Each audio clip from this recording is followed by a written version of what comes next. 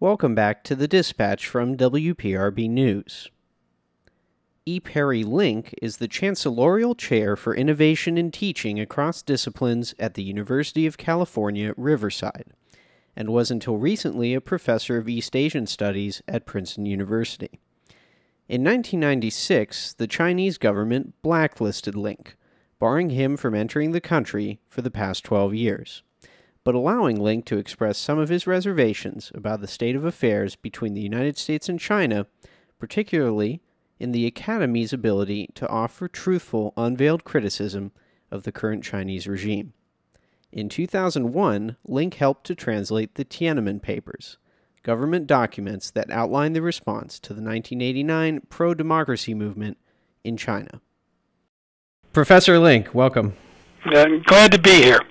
So let's start by, by traveling back in time a little bit to 1996 when you were blacklisted by the Chinese government.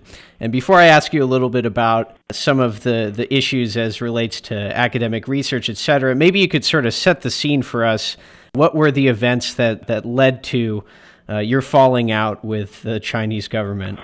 Uh, one thing about this blacklist is that they don't tell you why you're on it. and the reason they don't is that that makes you do exactly what you and I are doing now, and that's guess.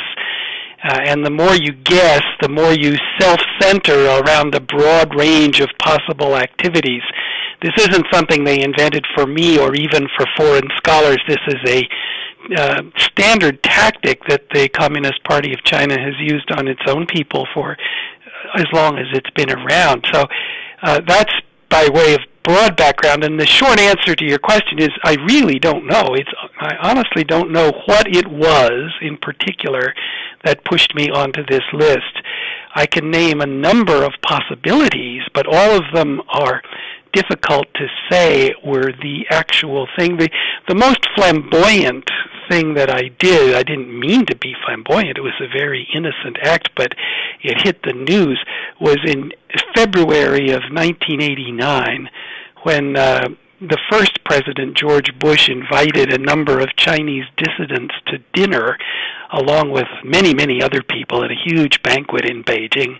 And I was friends with some of the dissidents, and just in a very informal way, I offered to share a car with them to go to the banquet, and we were blocked. And the dissident, Fang Lizhi, the main astrophysicist dissident, was noticed in his absence, and this hit the New York Times front page and all of the evening news shows the next day. It was a big splash, and I was right in the middle of that because I was the English speaker who could explain to the press what had happened. And I'm sure that this irritated the top leadership of China, and there's no doubt that it did. Uh, but the puzzle in saying that that was what put me on the list is that that happened in 89 and in 93, I went to China. 94, I worked for Princeton in Beijing all summer in, in China.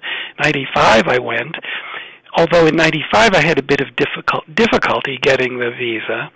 In 96 is the first time I was turned around, so it doesn't quite add up. Some people assume that it's because I helped to edit the Tiananmen Papers, which came out in the year 2000. But that again doesn't add up because I was on the list before I'd ever even heard of those papers. So it might have been something in between.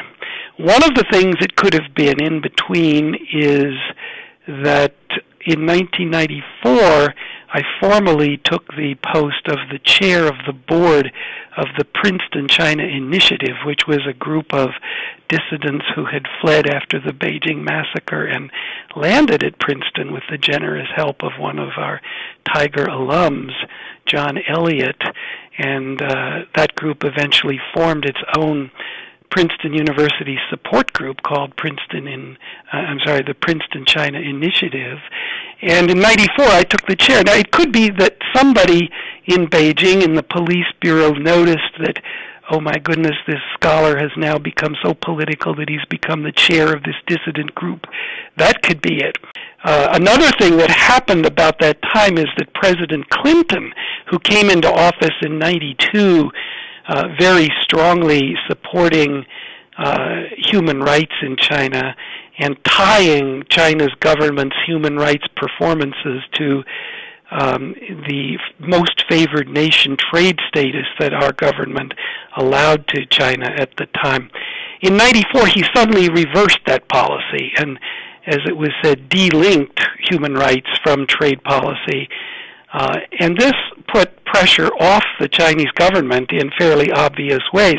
And some people think that as soon as they felt their hands weren't tied, then they thought, aha, now we can crack down on these dissident scholars with no with impunity, with no fear of, of reprisals. So all of those are possible reasons, but the honest answer is that even now in 2008, I don't know the actual reason. So it seems that there are a number of ways this is a catch 22 situation for for a professor for a researcher as it relates to access and the research.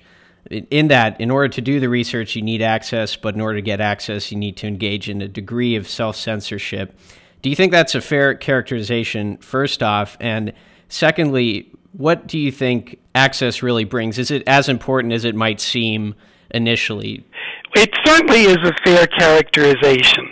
There is a lot of self censorship that goes on in the academic world uh, out of fear that one might land on a blacklist.